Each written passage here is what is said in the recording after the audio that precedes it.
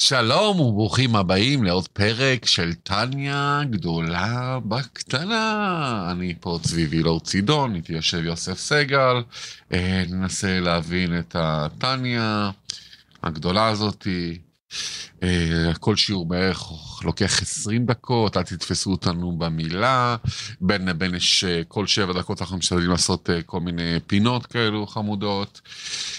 ואנחנו עכשיו בפרק ה'. אה, פעם שעברה מפגש, אנחנו מפגש 35 ברוך השם, פעם שעברה למדנו על תלמוד תורה כנגד כולם, ופה בפרק הזה אנחנו נמשיך בפרק ה' של התניא, הרב והאדמו"ר הזקן, מייסד חסידות חב"ד, אה, מנסה להתעמק איתנו ולהסביר לנו, ואנחנו ננסה לבאר אותו, בעזרת השם שנעשה ונצליח, אה, כמה זה חשוב כמה חשוב התלמוד תורה, וכמו שאנחנו תמיד אומרים, יהודי הוא בן מלך. מה זה מלך? ראשי תיבות מוח, לב, כליות.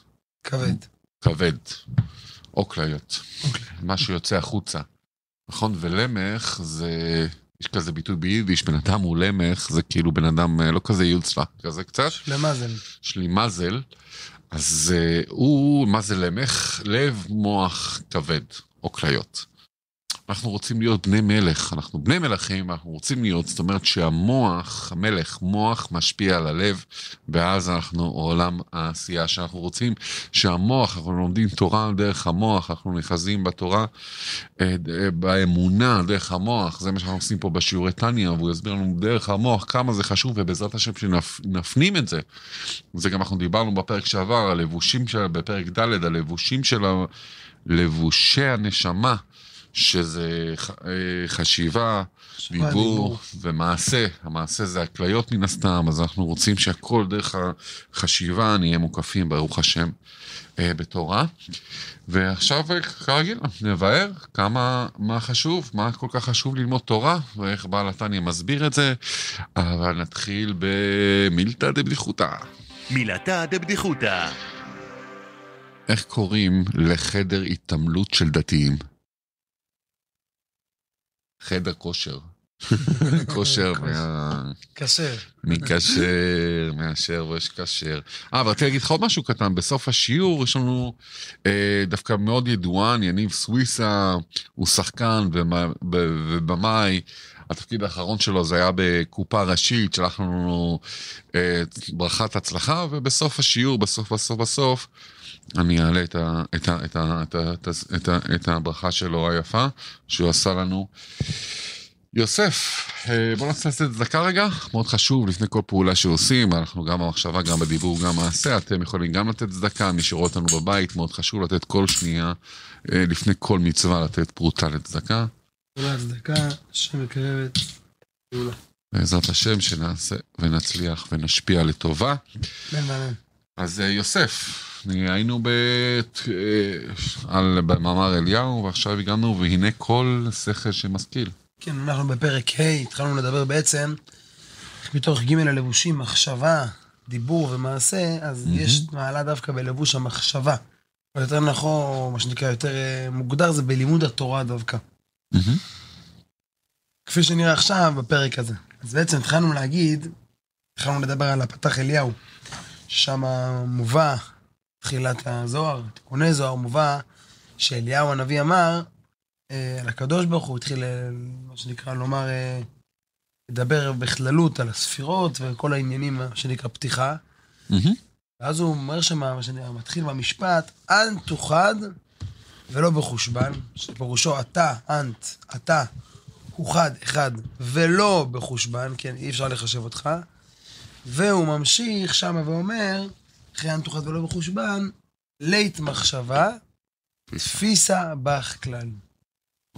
שפירושו לית, אין, כן, לא שייכת בעצם, מחשבה, אין מחשבה תופסת, תפיסה בך, בך כלל. זאת אומרת, שום מחשבה לא יכולה לתפוס אותך. עכשיו אדמו"ר הדקין רוצה לבאר לנו, להתמקד על מילת תפיסה. מה זאת אומרת לתפוס? מה? אין מחשבה שיכולה לתפוס בך, אבל שייך בכלל לתפוס בקדוש ברוך הוא.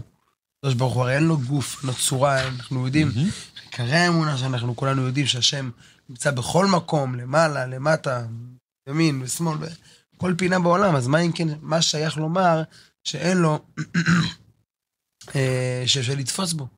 אומר אדמו"ר הזקן. אז בפרק הקודם התחלנו לבאר שאומנם באמת לא שייך לתפוס בו, אפילו בגן עדן, בעולמות העליונים, זה לא שייך.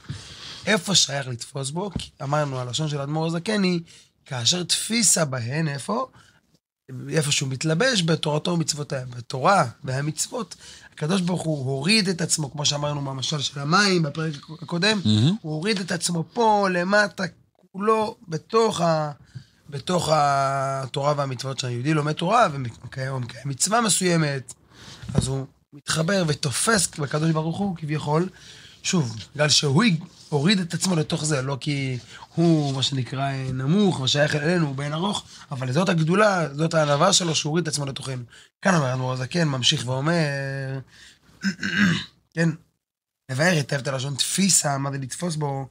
הנה, כל שכל, כשמשכיל, הוא משיג בשכלו. איזה מושכל?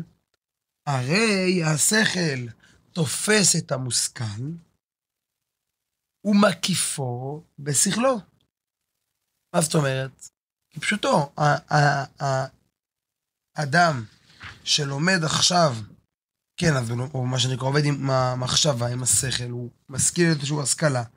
נניח עכשיו אדם שלומד את, הטניה, מקשיב לך לשיעור שלנו, שיעור טניה הגדולה בקטנה. מהמם. עכשיו הוא לומד את הפרק הזה, הוא לומד את הפרק ה', אז החלק הזה, הפרק ה', השכל הזה שהוא עכשיו מקשיב, שומע, רואה, או רואה או שומע, או עצם זה שהוא קולט בשכל, לא משנה איך זה מגיע, אז מה, הרי אז מה, אז השכל שלו תופס ומקיף את ההשכלה. כן, השכל שלי שעכשיו לומד את הטניה, מקיף את הטניה כביכול. זה מצד אחד. מצד שני, וכן, זאת אומרת, ומה יוצא, והמושכל נתפס ומוקף ומלובש בתוך השכל שהשכילו והשיגו, ואני תופס אותו, והוא גם כן הוקף מ- מ- מהשכל שלי.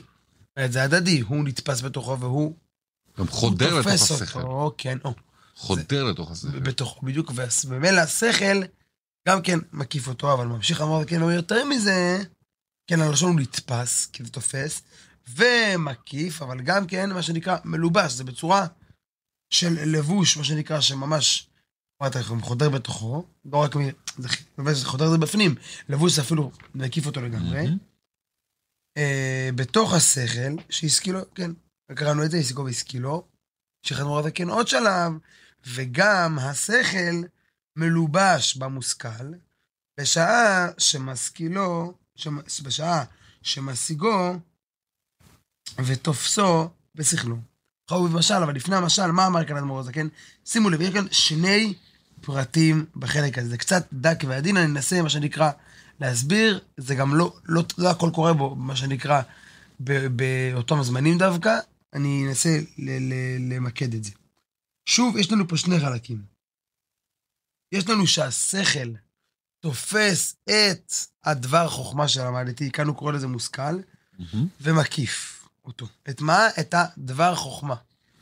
והחלק השני זה לאידך, מה? השכל, כן, מלובש במושכל, הפוך. בחלק הראשון דיברנו, שוב, זה קצת עדין, אני אנסה לה- להגיד שוב, בחלק הראשון דיברנו, כן, אם בוא, בוא נניח לדוגמה, כן, השכל עכשיו, כאן נמצא השכל. עכשיו מגיע המוח שלי, מה שנקרא, וזה זה הדבר השכל שהבן אדם לומד, מגיע המוח, מקיף את הדבר השכל הזה. אם זה הפרק טניה, שאני עכשיו לומד, השכל שלי מקיף, כולו, כן. זה חוק. אוקיי, אז זה כאילו מקיף ושקוע גם, ביחד. בדיוק. זאת אומרת, הוא שוקע בתוך השכל. זה גם מקיף וגם נכנס פנימה. בדיוק, אבל החידוש, לא רק שזה נכנס בתוך השכל, השכל גם כן מקיף עליו, בדיוק. זה אוקיי. קורה ביחד. זה שלב ראשון, זה קורה בכל השכל. אומר אדמו"ר דקין, יותר מזה... בכל לימוד. בכל לימוד. מה קורה גם כן בשעה, באותו שעה, בזמן שאני לומד את השכל. עכשיו זה, ה- מה קורה? גם כן, השכל, עד עכשיו דיברנו על הדבר השכלה, שהשכל מקיף אותו. עכשיו הפוך, השכל שלי, שהקיף לפני רגע את המושכל, גם כן נהיה מוקף בהשכלה. אם עכשיו למדתי פרק טניה, אז מצד אחד השכל שלי מקיף על הפרק טניה. מהמם. מצד שני, ברגע הזה השכל שלי נהיה מוקף בטניה. זה משהו שהוא לא נתפס. משהו מאוד מיוחד. גם כן אני מקיף עליו, על השכל הזה, על התניא, ובאותו רגע גם התניא מקיף עליי. או... הוא, השכל שלי כולו מכוסה בתניא. כל כולו שקוע בתוך התניא. עכשיו שימי לב את הלשון שהוא אומר כאן, בשעה שמשיגו, כן? בשעה שמשיגו בתופסו בשכלו, למה? בשונה מהחלק הראשון, שזה גם אחרי זה. עכשיו סיימתי עם השיעור, סגרתי... דוגמאות באמצע. כן, גם. הוא מביא דוגמה לזה, אני עוד שניה אגיד את הדוגמה, אני רוצה רק לה- להבהיר מה ההבדל ביניהם, ואז נגיע לדוגמה. כי אז על פי זה נבין את הדוגמה יותר טוב. שוב, זה לא קורה, שתיהם קורים באותו רגע, אבל מה ההבדל? החלק הראשון הוא לאורך זמן. גם כשסיימתי, עכשיו סגרתי את הווידאו, את הפודקאסט, טניה גדולה בקטנה. אז זהו, השכל שלי מקיף את הטניה שלמדתי. עכשיו אני הולך לישון, השכל שלי מקיף אותו. לעומת זאת, החלק השני, שהשכל שלי שקוע בתוכו, שהטניה מקיף לי את השכל, זה רק באותו רגע שאני יושב ולומד. זה מה שהוא מדגיש, בשעה שמשיגו ותופסו בשכלו. שוב, אני רק אעשה סיכום קטן לרעיון הזה, קצת אמרתי זה ארוך. יש לנו שני חלקים. השכל מקיף את הדבר חוכמה, את ה- את הטניה לענייננו. ומעליו יש עוד שכבה של התנ"ך. ומצד שני, הטניה בעצמו מקיף אותו. מה ההבדל? אז זה שהשכל מקיף את הדבר חוכמה זה תמיד, גם אחרי שסיימתי ללמוד. החלק השני, שהשכל שקוע בתוך הט- הט- בתוך הטניה, זה רק בשעה שאני לומד. כשסיימתי ללמוד, אופס, זה כבר לא שקוע בתוכו. כבר אני עובר להיות שקוע בעניינים אחרים. אוקיי. אז. בעצם מה שאתה בא להגיד שאנחנו לומדים תורה, נכון אפילו חומש, עזוב רגע, את התניא, לומדים תורה, תורה. חומש. אז בעצם הקדוש ברוך הוא, אה, בגלל שדיברנו בשיעור קודם שהתורה היא צמצום של הקדוש ברוך הוא, אז בעצם אה, התורה נכנסת לנו לראש, אבל לא רק זה, גם הקדוש ברוך הוא כאילו, לא כאילו, בדיוק אה, מקיף אותנו גם. או, יפה, כן. עוד שנייה הוא יגיד את זה בצורה מפורשת, בעצם, מה, אני, מה, מה הוא חותר פה, כן? אנחנו לא סתם בכוונה דנים פה בוא- שכל, בוא השכלה.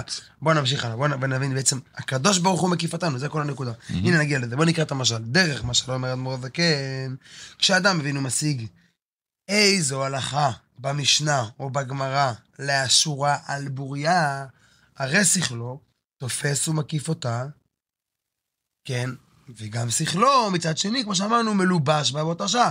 השכל מקיף אותה, וגם באותו, שוב, באותה שעה, באותו רגע שאני לומד, אז גם מה? הדבר השכלה, מקיף על השכל, השכל שקוע בתוך ההשכלה. ממשיך אדמו"ר הזקן, והנה הלכה זו, מה מיוחד זה מקיף, לא מקיף, מה זה נוגע? מה זה ההלכה שאני עכשיו לומד? הוא מדבר פה על הלכה. הוא חוכמתו ורצונו של הקדוש ברוך הוא. שעלה ברצונו שכשיטעון ראובן כך וכך דרך משל, ושמעון כך וכך, יהיה הפסק ביניהם כך וכך. שימו לב מה המשל, מה הנמשל. עוד שניה נגיע לנמשל. מה המשל? אומר לנו האדמו"ר הזקן דוגמה. הלכה.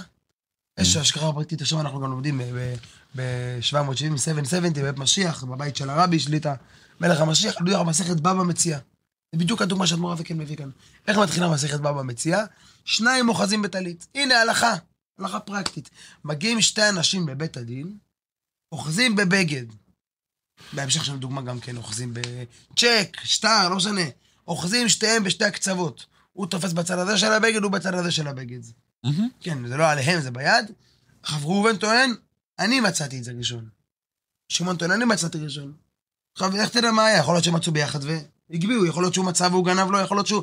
צריך לשתיהם דפוסים בה עכשיו.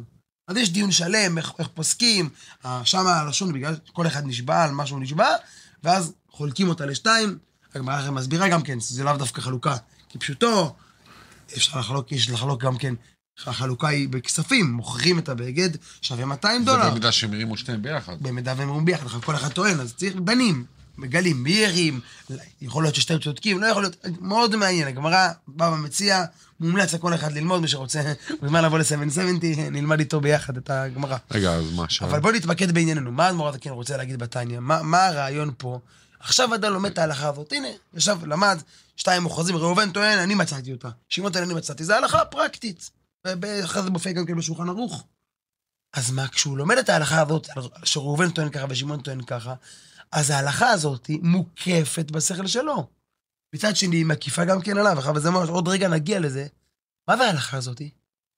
ההלכה הזאת היא חוכמתו, כמו שהוא אמר פה, חוכמתו הוא רצונו של הקדוש ברוך הוא. זה שהוא, הקדוש ברוך הוא החליט לצמצם ולהלביש את עצמו כל כך נמוך לטענות של ראובן ושמעון. שעכשיו שים לב, מה הדגש פה? למה הוא מדגש ראובן ושמעון? תביא סתם דוגמה. אמרנו שרואים פרה, הבאנו פעם שעברה שור של נגח, מה, מה הדגש פה? ראובן ושמעון, אחד הטענות פה, לאו דווקא שהיא אמיתית. ייתכן שבאמת, ראובן, הבגד שלו, שמעון בא ברחוב, תפס לו חצי, אחד שקרן. אז בכוונת מור כן רוצה להדגיש, אפילו יכול להיות שטענה היא לא נכונה. אבל עצם זה שהקדוש ברוך הוא שם את זה בתורה שלו, ואני לומד אפילו שזה יכול להיות טענה של שקר, אני מתחבר עם הקדוש ברוך הוא. ואיך אני מתחבר איתו? לא רק שהקדוש ברוך הוא מקיף, השכל שלי מקיף כביכול ותופס את הקדוש ברוך הוא, כביכול גם כן באותה שעה הוא מקיף עליי, כי הוא בתוך התורה, הוא בתוך השכל, בתוך ההלכה הזאת עם ראובן ושמעון, אז, אז לא רק שגם אחרי הלימוד אני נשאר להקיף כביכול, תופס, מקיף, וכאן זה תפיסה ממש, את הקדוש ברוך הוא, כי הוא בתוך השכל הזה, הוא בתוך ההלכה. לדמיין שאנחנו יכולים לתפוס את הקדוש ברוך הוא, הוא שאי אפשר לתפוס בו בגן עדן. אבל היות שהוא הלביש את עצמו בתוך הראובן ושמעון הזה, וזה אפילו, זה לא בעיה, זה סברה שכלית. אבל אני עכשיו חשבתי על זה, ראיתי זה, כנראה גם בתניא, אני לומד תניא, אז אני מקיף על הקדוש ברוך הוא, כי הוא נמצא בפנים, בתוך השכל הזה. אבל מה החידוש? שימו לב, באותה שעה, Hmm? גם הקדוש ברוך הוא מקיף אותי. כמו שאמרנו, כי באותו רגע, זה בפרק הקודם דיברנו יותר על מה, על הרעיון שהוא מקיף אותי, כצינה, כמובן כמו מגן, כמו בית שהוא מקיף על האדם. פה החידוש לא רק שהוא מקיף אותי באותו זמן שאני לומד, גם אחרי זה, באותו, שלמדתי דבר חוכמה של השם, אז אני כביכול תופס אותו, כי עד עכשיו מה היה? הוא הקיף אותי. הוא הקיף אותי, זה לא נקרא שתפסתי אותו. הבית מקיף אותי, אני לא תופס את הבית. אבל כשהוא בשכל, זה המעלה של כוח המחשבה. זה מה שהתחלתי להגיד בהתחלה. בפרקים הקודם, בפרק הקודם הוא דיבר גם על דיבור, גם על מעשה. פה הוא רוצה להפליע על המעלה של התורה דווקא, יותר מהמצוות, ובתורה עצמה על המחשבה של התורה. רגע, בוא נמשיך בזה עוד uh, כמה רגעים, בוא נעשה בינתיים גם uh, סגולות סגולות התניא. סגולות התניא. הרבי מלובביץ' אומר שהתניא היא סגולה לזיכרון ולטהרת המחשבה. אתם, אנחנו לומדים עכשיו על המחשבות, ולומדים תניא זה סגולה לזיכרון. אם אתם רוצים שיהיה לכם זיכרון יותר טוב, ו, ומחשבה טהורה יותר, ותהיו באמת נשמות טהורות עוד יותר, אז, אז, אז זה התניא. חסידים, אני אגיד לכם איפה זה לקוח. חסידים נוהגים לשנן את ספר התניא בעל פה, הרבה, וכשהדגש הוא על ההקדמה, ב-12 פרקיו, הראשונים לכל הפחות, וחוזרים אליהם בכל הזדמנות, בפרט בעת ההליכה ברחוב. הרבי מדגיש הרבה פעמים ללמוד את התניא בעל פה. יוסף, אתה יודע את התניא בעל פה? כן, ברוך השם, האמת שלפני שנסענו, לפני שנסענו פה לרבי, ש, ש, ש, לא השנה, שנה קודמת, בשנתיים זה כבר נסענו ל, לרבי שליטה פה לשנה שלמה, זה נקרא קבוצה. קבוצה, מה זה קבוצה? נוסעים שנה שלמה להיות אצל הרבי. באיזה גיל נוסעים? 12 חודשים. חב"דניקים גיל 20 פחות או יותר. זה הגיל שנוסעים. אחרי הישיבה מסיימים את המסלול, נוסעים שנה שלמה להיות אצל הרבי, לקבל פה, אצל הרבי מלך המשיח, את כל הכוחות, כל החיות, שנה שלמה. ולא נוסעים בכלל באמצע, אתה יודע, יש שמחות, עניינים, שנה, מה שנקרא, עם הרבי, ובזמן הזה, לפני שנוסעים, לומדים את התניא. יש כזה, היה חסיד גדול, רבי מנדל פוטרפס קראו לו, הוא היה משפיע בישיבה בכפר חב"ד, ישיבה שהייתה, אז של חב"ד הגדולה, אז הוא היה שם והוא אמר, לא נתן לה לנסוע לרבי, מי שלא יודע 12 פרקים. בעל פה. 12 פרקים הראשונים של התניא, עם ההקדמה כמובן. אז אנחנו בישיבה קטנה כבר, מגיל כבר 14 התחלנו, מגיל כבר ילדים בגן, חוזרים לך את התניא עם מנגינה, היום כבר יש, יצא דיסקאונט אגב, למי שרוצה לשנן תניא, אני חושב אלאור ולנר קוראים לו, יהודי חב"דניק, הוציא את כל הי"ב פרקים מנגינה. יפה. תניא בסוף, רואים מנגינה, אתה שומע את זה עם מנגינה, קל לזכור, בזכותו הרבה מאוד ילדים יודעים היום, כבר ילדים בגן. תעשה לי את המנגינה הראשונה. המנגינה הראשונה זה על התניא. זה ניגון של חב"ד, זה תניא בסוף, פרק ג' דנידה, משביעין אותו תהי צדיק. אל תירשע, ממש ככה, משהו יפה מאוד. האמת שעל ההקדמה אני חושב שאין לו, אבל אני אומר לך שאנחנו התחלנו עוד לפני שהיה את זה, מה שנקרא, כשהיה כבר... אז כמה פרקים אתה יודע בעל פה? אז מה שנקרא, שיננו, שיננו אחד, שתיים, בישיבה קטנה גדולה. ממש בנסיעה, לפני שנסענו ככה לרבי פה, במטוס, סיימתי את הפרק ה-12, ברוך השם. ברוך השם. אז ככה הגענו לרבי עם ה-12 פרקים, אבל צריך כל הזמן לשנן, אתה יודע. נכון. בלימוד... הרבי גם לא, הרבי גם אומר, כתוב פה, הרבי עורר לימוד פרק מ"א. עד המילים עומד לפני המלך בחזרתו בעל פה בהזדמנות שונות. חוץ מהקדמה עד י"ב, הוא גם מבקש ללמוד, אה, לשנן בעל פה את אה, מ"א, ומטרת השינון, הוא אומר, בכדי לתאר את האוויר ברחוב, בסגולה לזיכרון ולטהרת המחשבה. אז כאילו על מ"א, אנחנו בהזדמנות, אז בואו- בואו מאוד נמשיך. מעניין על זה, כן. בוא נמשיך פה, אנחנו. נגיע גם למ"א בעזרת נגיע גם השם. למ"א, ושם כבר נדבר באריכות על המעלה שלו. אז אנחנו פה בפרק ה' בעיצומו, מה המעלה של לימוד התורה? שימו לב, איזה... וואו, זה פשוט, זה מדהים לדעת. זה כל כך יפה שאנחנו עוסקים בשיעור טניה, אנחנו לומדים, ואנחנו פשוט רואים בת... מה המעלה של הדבר שאנחנו עושים. כן, אדם חושב לעצמו, אני יכול, יכול, יכול ללכת לעשות איזושהי טובה למישהו, אני יכול עכשיו בזמן הזה, מה שנקרא, לתרום צדקה, אני יכול לעשות הרבה דברים חשובים, כל דקה אפשר לעשות הרבה מצוות. אבל הוא בוחר לשבת וללמוד שיעור טניה, מסביר לאדמו"ר הזקן, אתה עושה את הדבר הכי טוב שיש. למה? זה החיבור הכי מיוחד שיש עם הקדוש ברוך הוא. כל לימוד תורה, כל לימוד תורה. כל לימוד תורה, ודאי, אני מתכוון לומר מה מעלה בלימוד על פני דיבור. עוד שנייה נראה גם בלימוד התורה עצמו יש כמה סוגים. אז הנה, כבר נגעת בזה, אז הכנתי פה איזה משהו קטן, סליחה. אה, יש, נכון, יש, החז"ל תמיד המשילו את השלוש עמודי התורה, שלוש, שלוש עמודים, אה, עבודת השם, בעבודת השם, נכון, במשנה. אה, עמוד אחד לתפילה, עמוד אחד לתורה, ועמוד אחד לגמילות חסדים. זה משולש כזה, שעובר משנה ביחד. במסכת אבות אומרת, על השלושה דברים העולם עומד. על התורה, ועל העבודה, ועל גמילות חסדים. נכון. בדרך כלל גם מי שעושה גמילות חסדים, אז הוא מצטיין גם באחרים. אה, וזה מאוד מאוד חשוב לעשות גמילות חסדים, ומאוד מאוד חשוב... אה, מאוד מאוד חשוב לעשות גמילות חסדים, מאוד מאוד חשוב להתפלל, אה, תפילה וכן הלאה. אבל, שוב פעם, התנאים אמרו, צריך שלושת הדברים, לשלב את שלושתם ביחד, אבל יש מעלה מיוחדת אה, אה, מאוד חשובה בלימוד תורה, מאוד מאוד חשוב. כל מצווה ש, אה, מקיים, מאירה עליו באור אלוקי שעוטף ומקיף אותו כמו לבוש, נכון? אה, לעומת זאת, גם לבו... התורה לעומת זאת, הלימוד תורה, העמוד של התורה הזה, הוא גם לבוש וגם מזון.